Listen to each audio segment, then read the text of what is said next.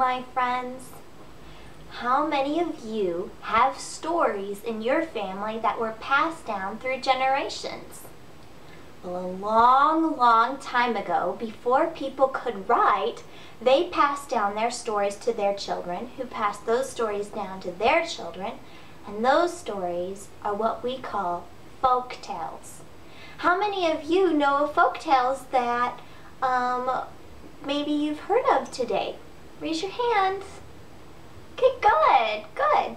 Well, today we are going to talk about a very popular folk tale called Cinderella. Can you raise your hand if you have watched the movie Cinderella? Yeah. Well, today the story we're going to be reading is a little bit different. It's called Princess Furball. So let's turn off all the wiggle worms and stretch out all the kinks and settle in for today's story time.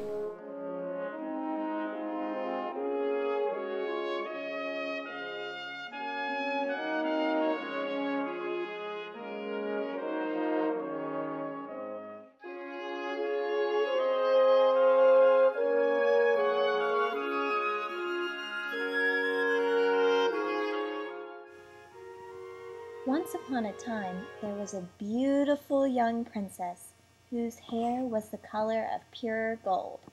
She was frequently lonely and unhappy, for her mother had died when she was a baby, and her father paid little attention to her. Luckily, her old nurse, who loved the princess as a mother loves a daughter, saw that she was lonely, and allowed her to run and play with the village children, and some days the princess visited with the cook in the large kitchen and learned to make soup and bread and cakes. Yet the nurse never forgot that the young girl was a princess. She taught her the manners of a lady and arranged for tutors to instruct her in reading, writing, and dancing, and so the princess grew to be strong and capable and clever, besides being beautiful.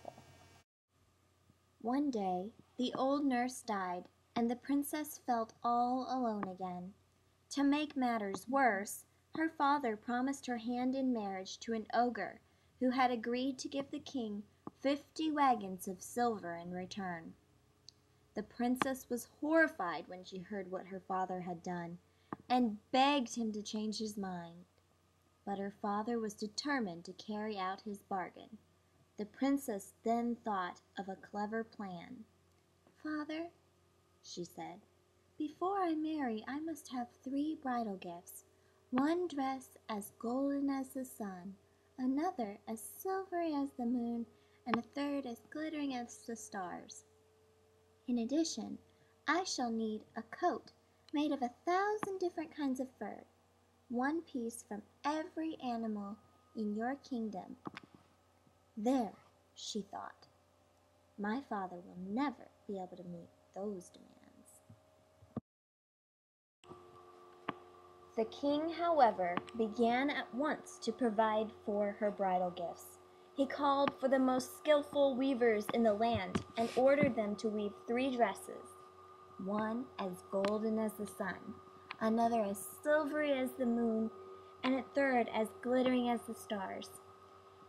He commanded his hunters to go into the forest, kill a thousand different kinds of wild animals, and bring home their skins, so that the coat could be made. At last, when all the gifts were ready, the king laid them out for his daughter to see, and said, Tomorrow your marriage will take place. The poor princess decided the only thing to do was run away. That night, when all the castle was asleep, the princess got up. She folded the sun, the moon, and the star dresses into packages so small that it could fit in a walnut shell. Then she took three tiny treasures that had belonged to her mother a gold ring, a gold thimble, and a little gold spinning wheel. At dawn, the princess came to a thick forest. She was very tired. The snow had covered her footprints, so she knew she could safely stop and rest. She found a hollow tree, curled up in it, and fell asleep. The sun rose higher and higher, but the princess slept on till it was nearly noon. In this very day, the young king to whom the woods belonged was out hunting in the forest. His hounds came to the tree where the princess slept, and they began to sniff and run around and around, barking excitedly. The king called to his hunters and said, Go see what is hiding in that tree. Two hunters went over to look. When they came back, they told the king that they had found a marvelous creature sound asleep in the hollow of the tree. Its body is covered with a thousand different kinds of fur. They said, See, see if you can capture it alive. said the king. Then tie it up, put it into the wagon, and bring it back to the castle. When the hunters grabbed the princess, she woke up in terror and cried out, Please don't hurt me. I have no home. Have pity on me and take me with you. Well, They said, come along, little furball. We'll take you to the cook. Perhaps he can find something useful for you to do. You can at least sweep up the ashes for him. The hunters put Furball into a wagon and drove her to the king's castle. There they showed her to an old woodshed where daylight never entered, Furball, you may live here and sleep here. they said. Then they took her to the kitchen where the cook had her fetch the wood, draw the water, stir the fire, pluck the chickens, clean the vegetables, wash the dishes, sweep the ashes, and do all the rest of the dirty work that no one else wanted to do. Poor Furball had to live a long time as a servant to the servants. She could not see how her life would ever change. One day, Furball heard the king was giving a ball at the castle. Please, she said to the cook, may I go out for a little while and see the guests arrive? I promise you no one will catch even a glimpse of me, Go, said the gruff old cook. but be back in half an hour to sweep up the ashes and put the kitchen in order. Furball quickly took her smoky oil lamp and darted to her little woodshed. She washed the soot and ashes from her face and hands and undid her hair. Then she opened the first walnut shell and took out the dress that was as golden as the sun. Its glow lit up the woodshed. As soon as the princess was ready, she slipped around to the front of the castle and entered the great door as a guest. No one recognized her as Furball, the cinder maid of the kitchen. The doorkeepers thought she was a princess from some other country, and they bowed to her as she entered. They quickly told the king of her arrival, and he hastened to greet the princess and lead her out to dance. Never have I seen anyone so beautiful and charming. he thought to himself as they danced. When the music stopped, the Sun Princess curtsied to the king and smiled at him so brightly that his eyes were dazzled. Before he knew what had happened, she seemed to vanish. The guard at the castle gate was called and questioned, but he had seen no one pass. The princess ran like a sunbeam to her dark shed.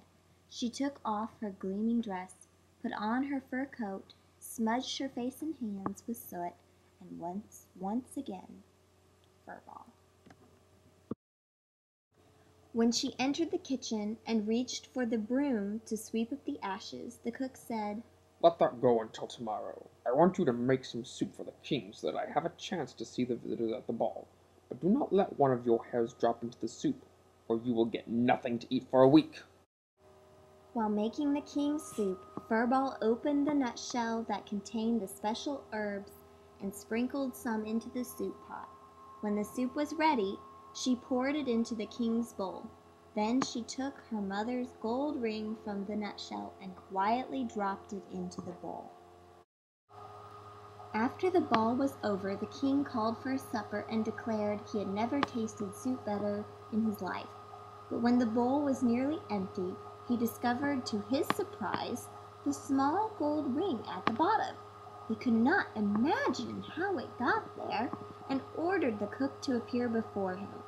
The old cook was terribly frightened. You must have gotten a hair fall in the soup. He growled at Furball. If you ha- have, I shall give you a good beating and nothing to eat for a week. As soon as the cook came into the banquet hall, the king demanded, Who made this soup? I, I made it, sir. faltered the cook. That is not true. Said the king. This soup is much better than any you have ever made. Then the cook had to confess that Furball had made the soup, Send her to me. commanded the king. In no time at all, Furball appeared and all covered with soot and stains. The king looked at her and said, Who are you, and how did you learn to make such good soup? I am a stranger in your kingdom. Sir, I once worked in the kitchen of another castle where I learned to make soup, What do you know about this ring which I found in my soup? the king asked. But Furball only looked at him and would not answer. When the king found he could learn nothing from her, he sent Furball away. Some time later, there was another ball at the castle. Again, Furball asked the cook if she could go and watch the guests arrive. Go, He grunted. but be sure to be back in one half hour to make that king that soup he is so fond of. Furball promised to be back in one half hour and ran quickly to her little shed. There, she washed off the stains and soot from her face and hands and let down her hair. Then she took her dress, as silvery as the moon, out of the walnut shell and put it on. Again, the shed shone with the light of her dress. She appeared at the castle door as a foreign princess, just as she had done before, only this time the king was waiting for her. He was so glad to see her that he would dance with no one else. But at the end of the half hour, the princess curtsied and vanished as quickly as she had done before.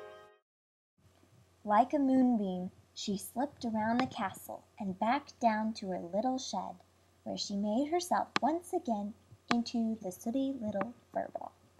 Then she returned to the kitchen to make the king's soup. This time, after adding the special herbs, Furball dropped the tiny gold thimble into the king's bowl. The king ate the soup with great relish, but was amazed to find the gold thimble in the bottom of the bowl. Again he sent for the cook and asked him if he had made the soup, and again the cook confessed that it was Furball. She was ordered to appear before the king, but when he asked her about the gold thimble, she only looked at him and would not say a word.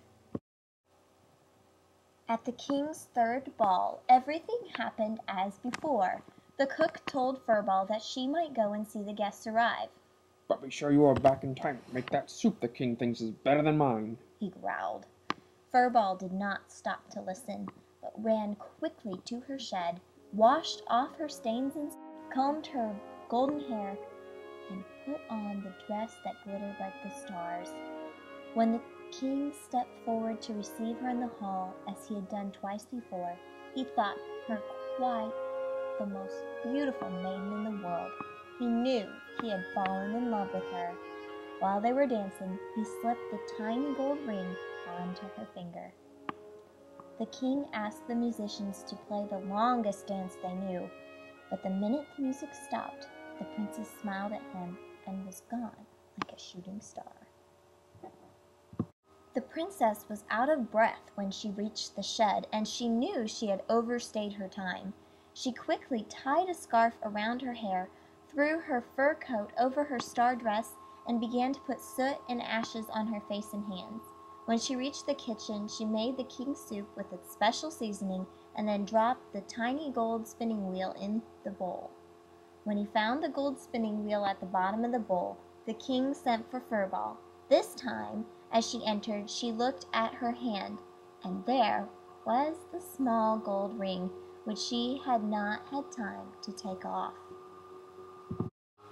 The king caught Furball by the hand, and while she struggled to get free, the fur coat fell open and he saw the star dress. The king drew off Furball's coat of a thousand furs, and as he did, so her scarf came off, and her golden hair fell over her shoulders. Furball wiped the soot from her face and hands with her scarf and stood before the king as the most radiant princess on earth. The king told the princess he loved her and asked her to marry him. You have the beauty of the sun, the moon, and the stars. You are as clever as you are lovely, and I cannot live without you. Then the princess told the king her story, and he loved her even more than before. The wedding took place the next day. Everyone who had attended the ball came to see the marriage of Furball and the king. The cook, who made better pastries than soup, stayed up all night baking an enormous cake for the bridal couple. And the king and his new queen lived happily ever after.